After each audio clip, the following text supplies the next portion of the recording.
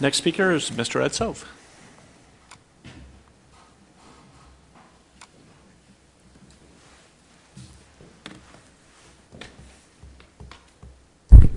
Good evening.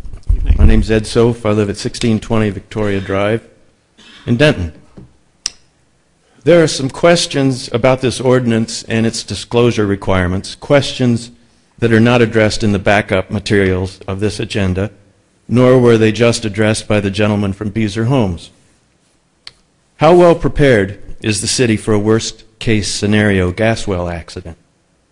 How well prepared will the homeowners be in Mr. Shelton's and Beazer Homes development? Is what happened in the early morning of April 19th near the airport and homes an indication of the city's preparedness and of Eagle Ridge's competence? A blowout on that date at an Eagle Ridge well erupted for almost 10 hours before the Denton police and fire departments arrived and evacuated nearby homes and closed the airport. Residents and businesses in the area never received a code red notification of the danger. This is from a newspaper account in the Denton Record Chronicle. Quote, blowouts, while uncommon and the results of various factors, come with great risks. In December 2005, an operator lost control of a Barnett shale gas well being drilled near Brad in Palo Pinto County. The ensuing explosion blew a 750 foot wide crater in the ground, and the fire burned uncontrollably for several days. Workers had already left the site when trouble began hours before, but one crew member unfortunately was injured when the flames engulfed his truck as he sat nearby. Unquote. Now, really, will a 30 foot wide landscape buffer as called for in this ordinance, or a six foot concrete wall around a school protect people and property in a scenario like that?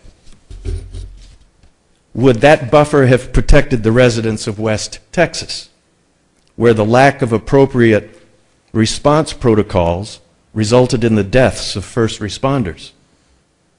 Is the city of Denton prepared for a blowout, an explosion, or a massive release of toxic chemicals in the midst of a densely populated housing development and an elementary school filled with children?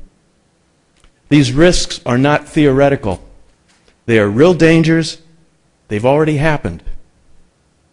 Will prospective home buyers be made aware of them and what to do if a catastrophic accident occurs?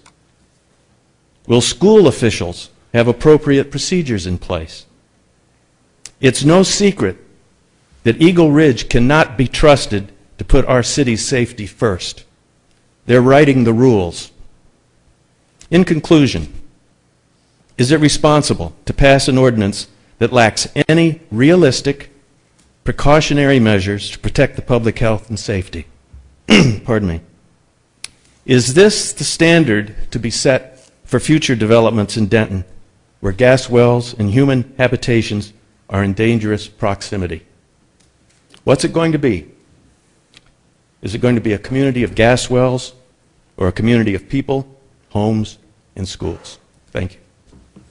Thank you, Mr. Soph. Next